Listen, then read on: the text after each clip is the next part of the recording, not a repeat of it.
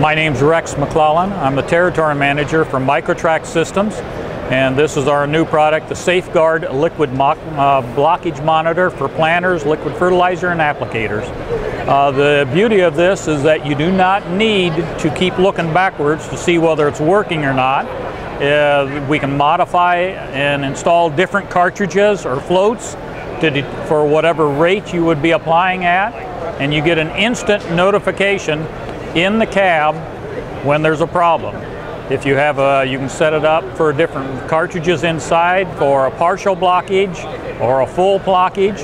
There would be an instant alarm that would go off inside the cab and in the information window it would tell you which row is blocked. We can put a total of 120 sensors together so that would pretty much cover any planter that's on the market today. It's a simple system to install and a simple system to use. Uh, if you need additional information, we have, uh, you can go to our website, and that's micro-trak.com. Uh, you can look up additional information and find out who our premier partners in throughout the area would be.